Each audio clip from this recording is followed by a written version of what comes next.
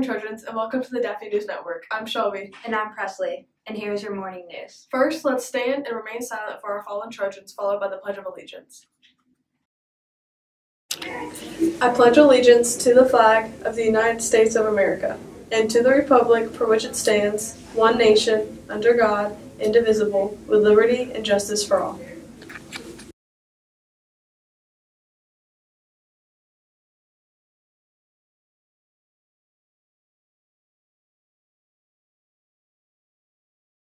And here are your Daphne Trojans birthdays!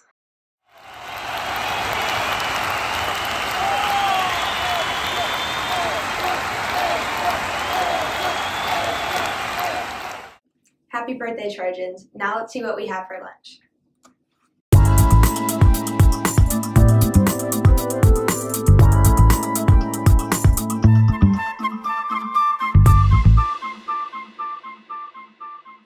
47, and it felt like 41 with a 3% chance of rain, and it's and it might rain. It might rain.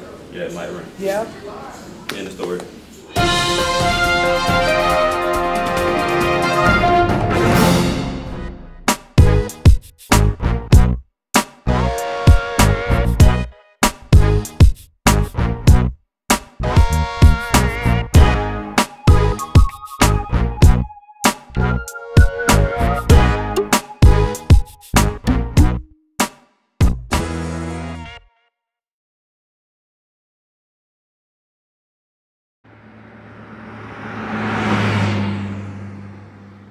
Alright, I get it. You got a small car. Something else might be small, but you know, I see why you got a dent. Come on, man.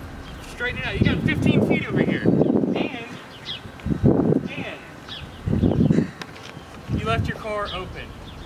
Jeez.